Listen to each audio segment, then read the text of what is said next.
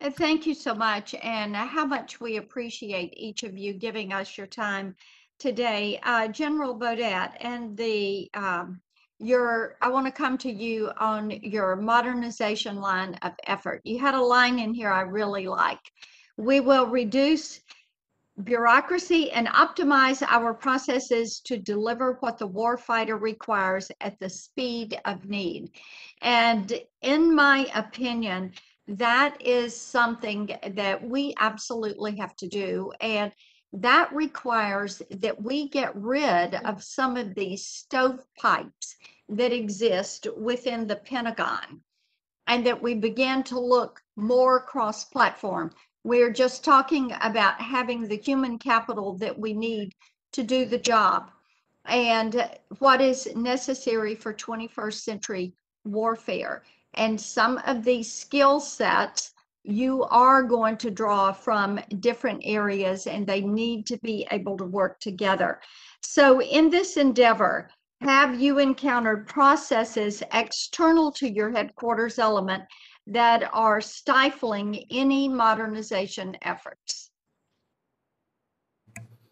Senator, thank you, as well as for your tremendous leadership and support of our 5th Special Forces Group and Night Stalker community.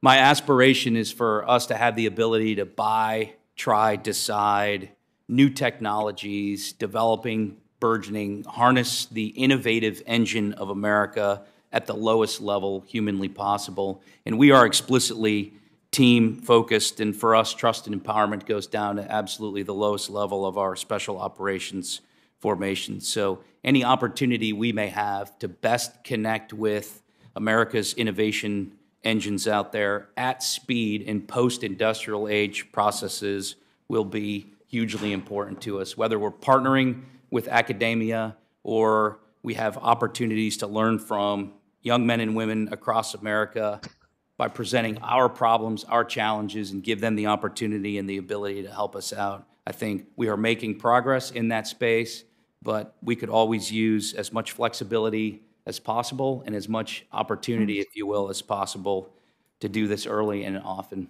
Thank you. Let me ask you this. To date, do you have any internal successes that you have said, we tried this, this worked, uh, this we can replicate? Any successes you want to report on? Senator, absolutely, we do. So I'll use some of our opportunities by partnering with academia, for example, at MIT and Tufts. We present students with challenges that are complex, somewhat intractable to us, and difficult to solve, whether it's operating in denied environments, using small sensors, unmanned sensors, if you will, the ability to breathe, to operate, to communicate, to see in spaces in which we're not operating, to advantage our men and women to sustain lethality. We've had a great opportunity with Vanderbilt as an example to work on some mission command and control systems, if you will, for the 160th Special Ops Aviation Regiment, which ties in our mm-hmm. synthetic training opportunities.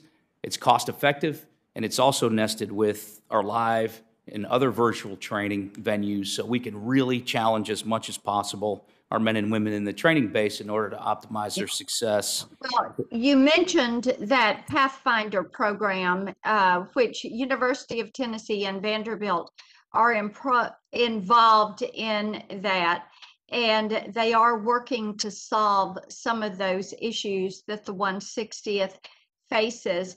And I would be interested to know if uh, you take unit level and individual uh, feedback as you are looking for these um, for these reforms and for new ways to approach this technology utilization.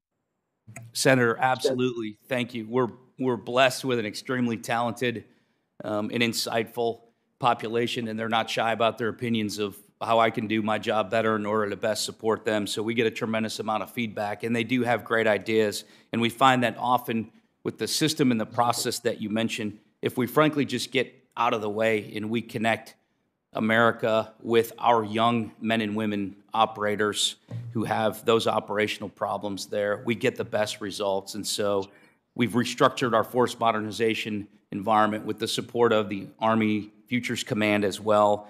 And frankly, a lot of our local initiatives and efforts by getting out of the way of the units and allowing them to contact and to learn and associate and partner and problem solve with, you know, elements of the local community, we're finding our best results.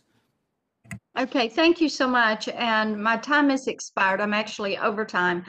But um, Admiral Howard, I have a question I'm going to send to you on NSW And general. Glynn, I have a MARSOC question that I am going to send to you on, it's a recruiting question. So, Mr. Chairman, I yield back. Thank you.